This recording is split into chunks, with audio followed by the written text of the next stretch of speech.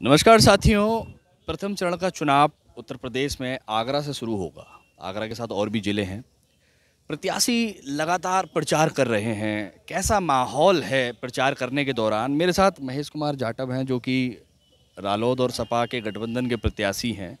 इनसे बात करेंगे, जानेंगे। चुनाव प्रचार आप कर रहे हैं तो क्या लग रहा है आपको? इस बार जीत पाएँगे आप? नहीं, मैं पूरा आश्वस्त हूँ। बहुत बड़ा जन समर्थन है मेरे साथ में। मेरे सामने साथ, सामने कोई भी प्रत्याशी मुकाबले पर नहीं टिक पा रहा है। मैं आपको विश्वास दिलाता हूँ। कल योगी जी आए थे आगरा और बात की जाए फतेहपुर सीकरी विधानसभा की तो उनका कहना था कि जो जाट हैं, वो हमारे साथ हैं। और लोकदल और सपा के गठबंधन के आप प्रत्याशी हैं, उत्तरी विधानसभा आपकी है।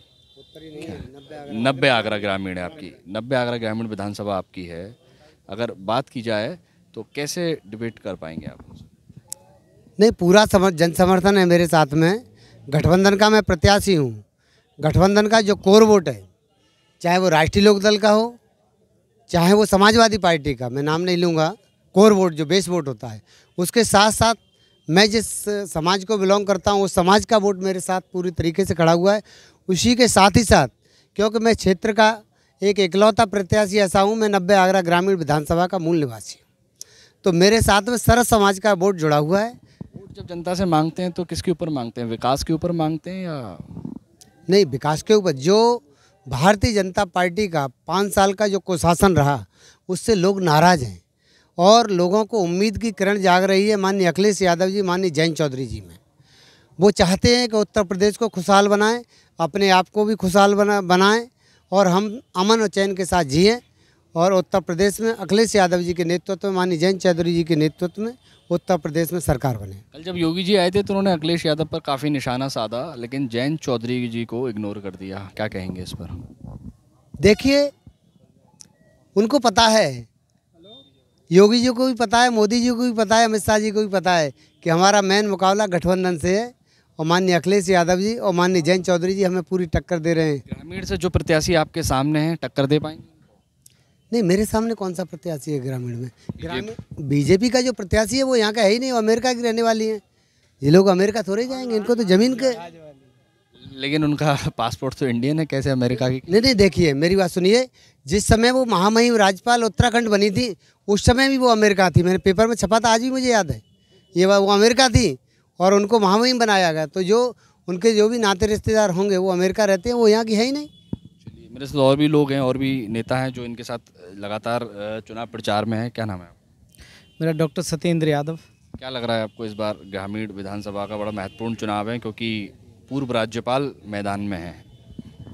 यहाँ जो पुराना चौधरी साहब के समय का जिस तरह का गठबंधन था वोटों में उसी तरह सभी किसान और सभी जातियाँ सभी वर्ग एकजुट होकर सपोर्ट कर रहा है।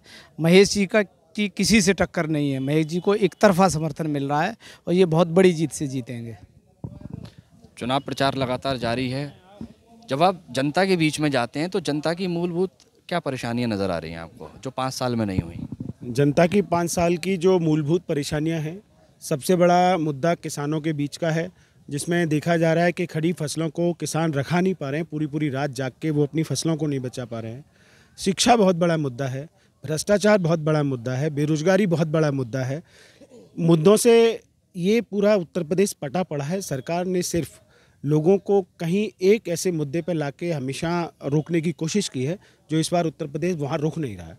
उत्तर उत्तर प्रदेश पहली बार अपने जेवनन मुद्दों की बात कर रहा है जीनियन मुद्दों पर काम करने की बात कर रहा है रोज़गार मांग रहा है सड़कें मांग रहा है विकास पूछ रहा है इनसे आए हुए भ्रष्टाचार पे जो इन्होंने कहा उनका जवाब मांग रहा है पंद्रह लाख रुपए का हिसाब मांग रहा है किसान फ़सलों का मूल्य मांग रहे हैं लेकिन ये लाठी चला रहे हैं।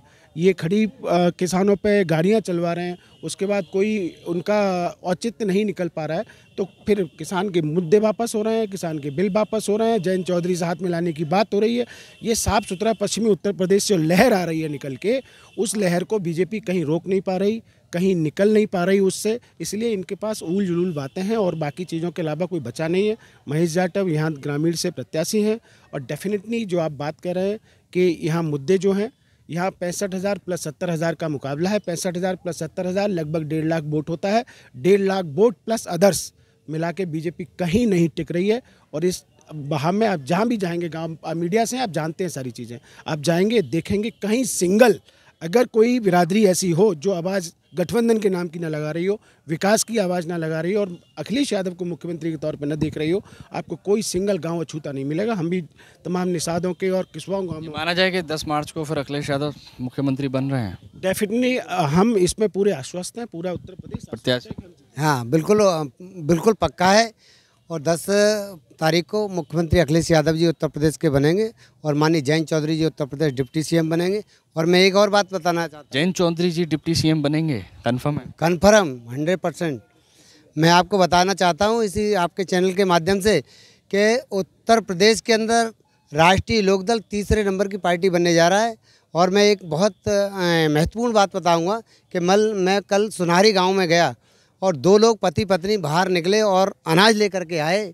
और उन्होंने मुझसे कहा, मेरे ऊपर आरती की, मेरा तिलक किया और फिर बोले कि ये मैं अनाज दे रही हूँ और अखिलेश यादव जी मानी जैन चौधरी जी को बता देना कि इस अनाज को बचा लो, नहीं तो दुनिया भूखी मर जाएगी। ये सवाल है। महेश जाटव है, ग्रामीण ग्रामीण ग्रामीण विधानसभा से थे। महेश कुमार जाटव हैं, इनका साफ़ तौर पे कहना है, एक बड़ा दावा इन्होंने कर दिया है। कि जयंत चौधरी डिप्टी सीएम बन रहे हैं। अब देखना होगा 10 मार्च को ये जनता क्या गोल खिलाती है। न्यूज़ ट्वेंटी के लिए आगरा से इकबाल खान।